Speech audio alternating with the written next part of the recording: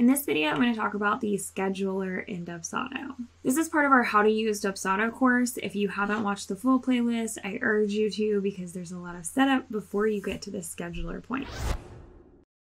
Up until this point, everything that I've talked about can be done on the starter plan in Dubsado, but from now on, we're going to talk about schedulers, public proposals, and workflows, which are three features that you will need the Premier plan. And to me, these three features are very next level, and you should focus on getting some of the easier stuff set up first. And then this is where all of those things you've already set up are going to start to come together. I think the scheduler is probably the simplest of these other features to explain, and if scheduling appointments is very important to your workflow, then you're going to absolutely love this. If you're new to Dubsado, we have a link in the description as well as our code Design by Laney that will get you 30% off your first month or year with them. To access the scheduler, you're going to use, of course, this templates tab. It's pretty much all we use.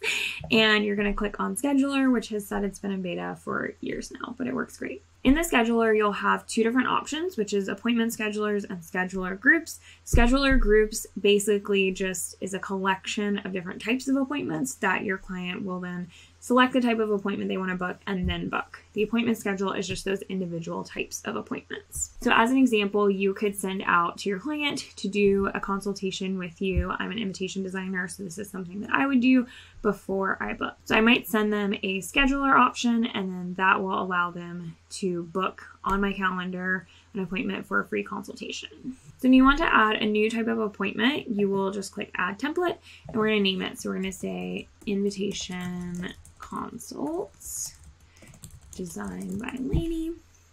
And we'll choose how long we want that to be. We typically want these to be 30 minutes.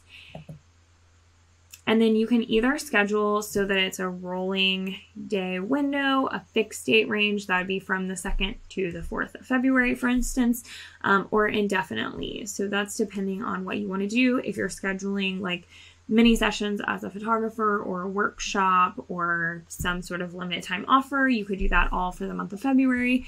Um, I'm going to do indefinitely because this is a consult that I'm going to use pretty much forever. And then we'll set the times that we are available. If you have synced an external calendar, which is something you can do in your settings with the settings gear up here, then any times that you are blocked off on that calendar will also automatically be blocked off on your scheduler. I don't have a calendar synced on my demo account here. Um, so we will just use these pieces here and you can also kind of click through to select additional dates more than two weeks out. When you're editing a specific day, you can choose if it's only that specific day or if it's for all Tuesdays. So for an appointment like this, I might say that I'm only available every Tuesday and Thursday for a specific time, but I'm available pretty much every Tuesday and Thursday for these consults.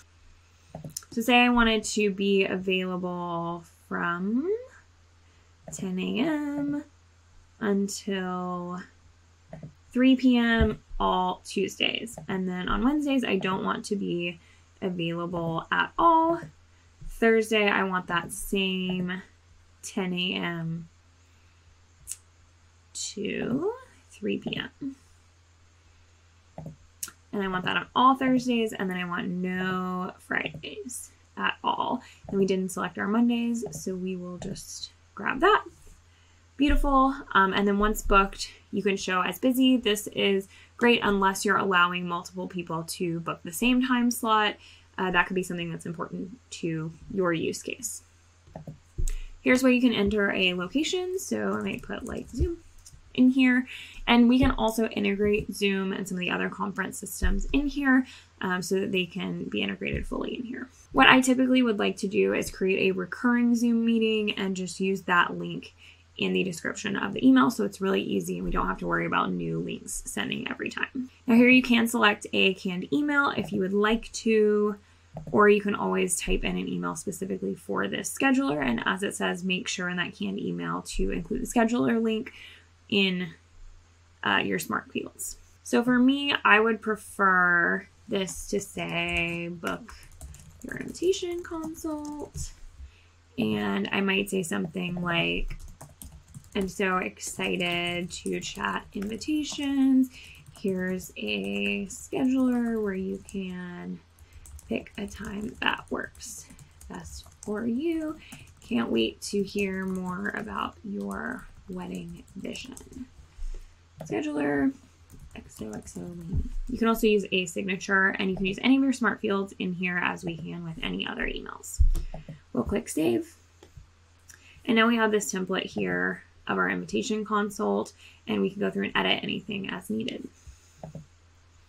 In our advanced settings, we can do some things to make sure we don't get double booked, overbooked. Um, someone doesn't book something while we're asleep that we need to make sure we wake up early to get to, etc.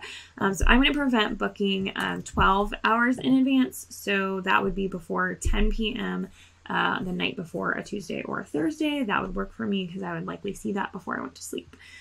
And then buffer time, this would be if you have multiple people scheduling, you can create like a 10 minute window between consults so that if someone has already booked, you know, 10 to 10:30, someone can't book 10:30 to 11, they could book 10:45 to 11:15. So I don't necessarily need a window before the appointment, but I am going to put 15 minutes after because sometimes I go over. Now you can change your available time slots. 30 minutes makes sense because that's the duration we've given for this appointment, and then you can set like the maximum number of appointments per day or the maximum number of appointments total. So if you have if you only want to book you know, your five next consults will be at this discounted price or something, you can just make sure that this can only be used five times total.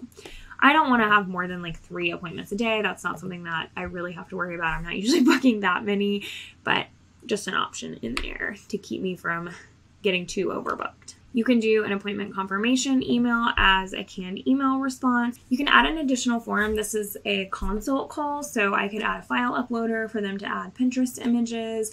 I could add a form asking more about the, their design vision if there's any additional information that I need. Sometimes I'll schedule a consulting call, and so I'll add a form asking them some questions about the background of their business so we can really dive in and we don't have to cover that on our call. And then your confirmation page can be any URL. Um, so this could be something else you do in Dubsado, but it could also be something on your website that just says thank you.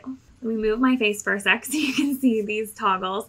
Uh, you can require a deposit to secure the booking. This is so nice for any kind of paid consult, uh, paid mini session, paid consulting call, etc.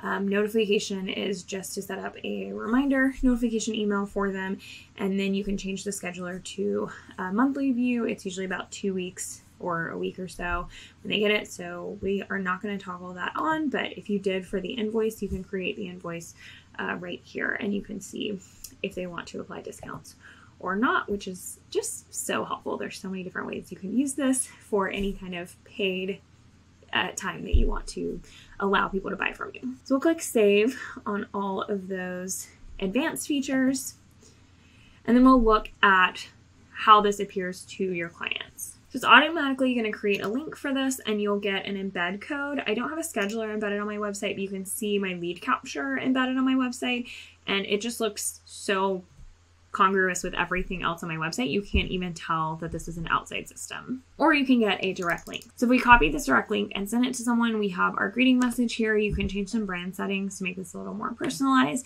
And then we have all of our upcoming days. So it is about two weeks, 10 days that we see on here, and you can change it to the month view if you prefer. So if you were to click on the 22nd, this Thursday, you can see all the different time frames that are available. Grab one, submit and finish. This is also where they might get a new form. They're going to get those confirmation emails. They're going to get any reminder emails that you have set up for this scheduler. Um, and they can also change their time zone here to make sure the times are in their time. So now you'll see we're no longer 10 to 3, but we have 1 to 5:30 p.m. So super easy to either embed this on your website or send that direct link. Now, I mentioned a scheduler group is basically just going to be a combination of these different appointment schedulers. So you can allow the client to opt into what type of appointment is best for them. Say you have three different coaching options um, one is a 30 minute quick session, one is an hour and a half, and one is like a full day coaching thing. And they all have different times they can be booked. They all have different prices associated with them, different invoices that we created in the advanced settings. You can go into your scheduler groups, add a group, and you can just select which options are going to be in that group. And then instead of just getting the one type of option to choose from to go ahead and book, the client is going to get the option of which type they want to book first. And then they'll be able to book that particular type.